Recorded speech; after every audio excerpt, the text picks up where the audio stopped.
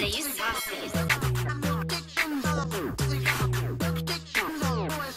is up, you guys? Welcome back to my channel. Now, we got Bishop Whitehead in the click today, you guys, and this video has been highly requested in the comment section, so here we go. Now, before I start talking my shit, I would like to make it clear that everything that I'm going to say, every point that I'm going to make is not going to be actual facts because we do not have proof. And this would all be allegedly. However, everything that I do say will be 100% my opinion. And oh, you better know I definitely have a lot to say about this because a lot have been transpiring since the alleged robbery. Now, I would like to show you guys the actual robbery. Then I'll have some things to say. Y'all take a look. You about to go through.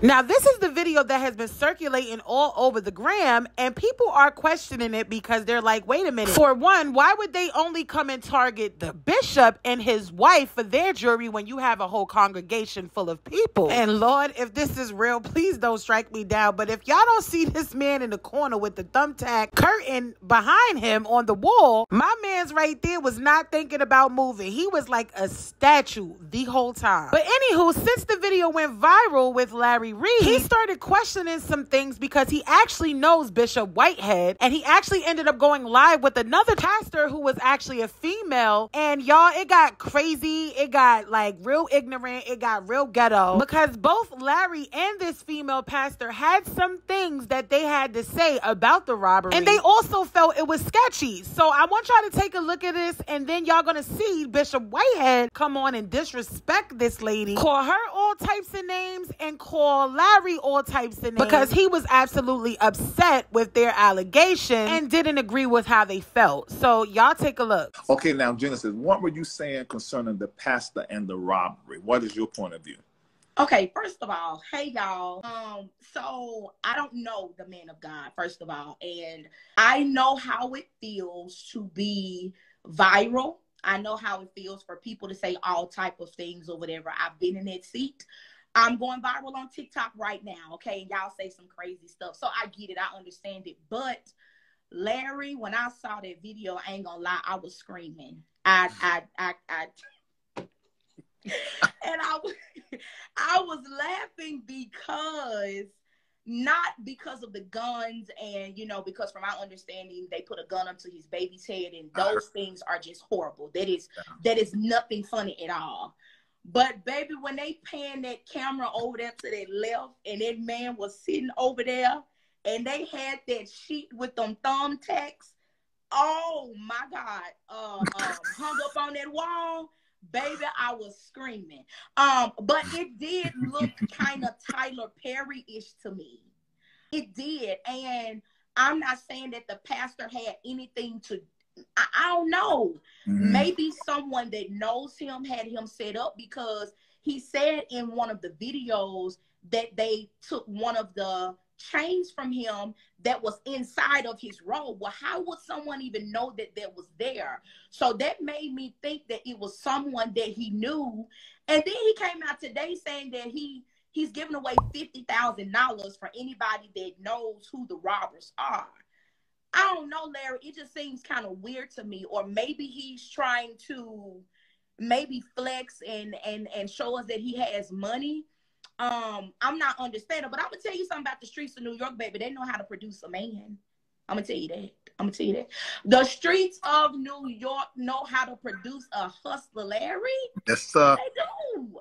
Yes. And all of the cars and the money and the flashy clothes. I like it. I mean, to be clear, I like it because he said he's in real estate. And so I think that's amazing that you can turn your life around and provide for you and your family. But it kind of looked a little, I don't know. I, I felt bad for laughing. I, I really did. but I, I, something something in the milk ain't clean. I'll just Okay. Now, first things first, I definitely agree that he definitely is a flexer because when you go on his Instagram, you can most definitely see he's mm-hmm. very flashy. He wears Fendi suits. He even wore a Louis Vuitton suit and his Bentley, even down to his kids wearing Gucci. So the guy is definitely flashy. Now, is there anything wrong with him wanting to wear designer, wanting to spend money on finer things in life? Absolutely not. But a day after the robbery, he posts on his Instagram driving, smiling in his Bentley, had everybody upset and confused. Like, he's smiling. You just got robbed and you claim that these robbers had a gun in your baby face and you out here driving, looking flashy again, smiling up on the ground. Now, the only reason why I'm pointing this out is because not only did Fat Joe point that out, and Larry the next day after the live went viral of him disrespecting them, Bishop Whitehead did not seem as upset as he seemed on this live. Now, I will admit, Larry Reid ended up reenacting him on the floor, which I thought was a little distasteful because if this is true, that's not funny. Larry Reid, however, ended up apologizing to the net about mocking the fact that he was on the floor getting robbed. However, he did not apologize for feeling the way he felt because ultimately Larry Reid is a comedian as well as a pastor. So at the end of the day, this is his job. Anywho, let's take a look at the rest of this live when things went left. Not embrace him the way that they will embrace somebody who has the money that he has and da da da da. da. But when I seen this here video, and I looked at this backdrop of look like sheets, Larry. and I said, I said, now now we got a problem because if you rich, you can take a hundred thousand dollars and buy you a whole new backdrop for the church. I said, this don't make no sense to me. Larry, I was crying. When I was crying, when I seen it, I was screaming to the top of my lungs. I said, Lord, everybody in my sub division gonna hear me. I'm telling you, that thing, that thing that had me weak. Oh, dang. Lord, I'm sorry. Larry, that's why I texted you and I said I'm probably going to hell. Because I can't stop laughing. As a pastor, that's not right. You mean when you that's you know that's not right. If you rich, write the check to the to the ministry and buy it. Hey Bishop, How you doing? I'm doing pretty good. You upset that I was laughing? Nah, and I'm not upset about anything. You guys have your prerogative to say what you want to say, but when you are turning what happened to my church into a laughing stock, that's what I have a problem with because I gave you nothing but respect and nothing but honor when I met you. And then, young lady, I don't know you, but when you sitting here talking about have thumbtacks on the wall, no, those no, those are backdrops. Those are step and repeats. Let me tell you, we I purchased a church. I own a church. I own a whole block, and that's a temporary church right now. I own the whole block. Okay, so so hold on, hold on. You want to sit and talk about cloudy diamonds? If you feel that your diamonds is better than mine, so be it. So so be it. Then you wanted to talk to me about our discussion about You don't have to be angry. I'm, be, I'm not angry. I'm not. I'm not angry at all. But I Okay. treated you. I treated you with nothing but respect and integrity. So from where this is coming from, I don't know. So please inform me. Okay, Please inform me. Number one, it's opinion. You're viral. My job is to talk about what is viral. I did you a favor. No, I don't need no favors from you, Larry. My, You You do though. You Larry, talk. You excuse do me? You do. ma'am, I don't even know you, ma'am. All right, But so you can just stay out of this one. I don't even know you. All right, I don't even know you.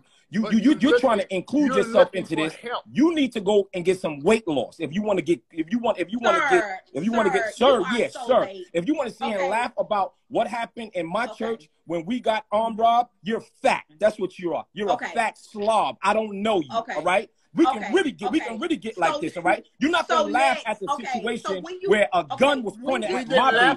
Give me no props and laugh at me at I the did, same time. Don't take time. go there. Yeah, let's go there. Let's go there. go there. Let's go there. Let's go there, Number Biggie. one, Let's go there, You Biggie. don't know me. You've never Let's go there, one, Biggie. you're a liar. You're a liar. I'm a liar. Let's go. How? How am I lying? Number Biggie. two, Biggie Big, not Biggie Smalls, but you're Biggie Big. You are quote unquote All right. a bishop in the Lord's church. That's right. You have Uh-huh. seen my face on your timeline before, and if you say you haven't, you're a liar. I don't know you. I don't know you. I don't know you. Hold on a second. Nobody wants to talk to you, Biggie. Nobody wants you to talk don't to you, have Biggie. any All respect right. for women. No, no, no. And Don't talk about women now. show Don't talk about you women don't have because any because y'all laugh. number Y'all laugh when the number when when we when Larry real said We weren't- about the weren't you got gun and my problems daughter is because face, y'all laugh.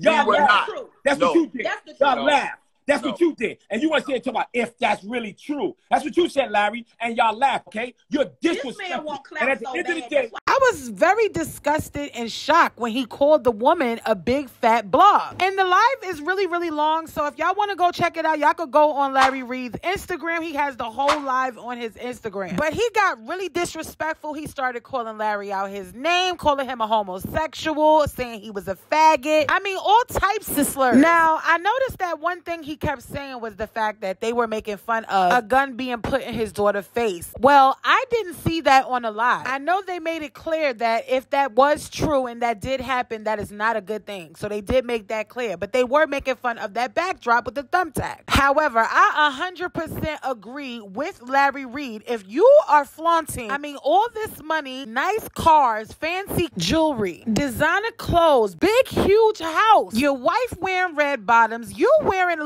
Louis Vuitton suit damn near every damn Sunday, your wife face beat to the gods, blonde extensions on point, flexing in the hood, pulling up in a Lambo looking like Nino Brown. But your church looks like this. Floors are old. Your congregation got regular chairs. The ceilings is buckling. The stairs need a new rug, and you definitely need to fix that stage. And how is it that your wife got a brand new pair of red bottoms every Sunday? I mean, did Larry lie? They sitting here flaunting all this money, all this jewelry, but they can't put the money into the church? I'm not understanding. How is your house bigger than your church? And I don't care how anybody feel. I am not insensitive to the fact that they were robbed and a gun was put in a baby face, so they said allegedly. However, it is unacceptable for you to look this good, have all these fancy cars, nice home, but your church look like somebody's basement. It's giving Ozark. Somebody washing money in the church. No, you're a fucking liar. Tell me why.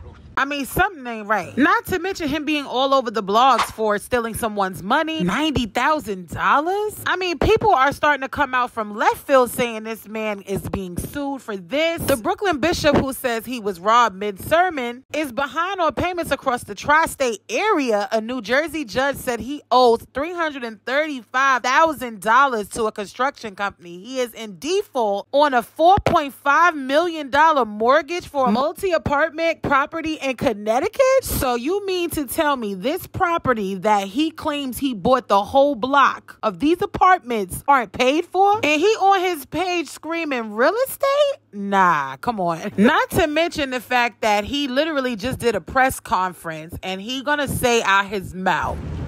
million dollars worth of jewelry, in all the tabloids. Why would a pastor have that? What about his congregation?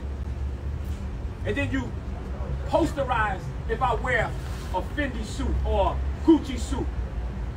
Why is Fendi, Louis, and Gucci? Why can't we wear that in the church? What's wrong with that? Cost so much. Not somebody saying it costs too much in the background, but the point is, there's nothing wrong, like I said, with you wearing those type of things. What's wrong with it is the fact that look at the outside of your church and look at the inside of it. That's the problem. And not one time did he answer a question that any of the reporters had towards those lawsuits because he said it's a law issue and he can't speak on it. But he literally called for a press conference so he can have a pity party in my eye for people to feel sorry for him, so he can victimize himself. He could talk about black people and people putting black people down. And he literally only called it to clear his name because there were no questions asked. You knew these people were coming to ask you these type of questions. And I mean, it got so heated that a lady came out of nowhere and was like, he ain't taking no more questions. Y'all take a look. You know, before you turn, you helped turn the young man in after the shooting on the subway. You know, I remember when last year you ran, of course, for Brooklyn Borough President, and during that campaign, you accepted a loan, $150,000 from a woman down in Miami, Josette Bayoro. Um, just wondering how you know her and why you did not repay her. Thank you so Read much. back that At one. this present time, Bishop will no longer be answering any more questions. We appreciate You said two time. questions a person. Have a good day. I didn't even get to finish the first one. Yeah. I'm, I'm gonna. It- yes, you're yeah. right. You're right. You're trying to listen. Um, that's more of a legal question, and um, what you just said stated um, is inaccurate. I'm gonna leave it there. Why, That's- though? That's, Listen, y'all let me know in the comments below what y'all feel about this. If y'all have sat through this whole video the whole time, click, you a real one. I just really want to know y'all opinions. I'd love to know your thoughts. I mean, his answers right there is just giving very much fraud. And I ain't gonna lie, I ain't really feeling the bishop right now because it's just not looking really promising on his end. All these people coming out of nowhere, out the woodwork saying you owe them money, everything. The feds is gonna be doing their job. For sure. Because at the end of the day, we clearly see that the money is not going into the church. Y'all let me know. I love y'all on the road to 8K. Love you. Bye.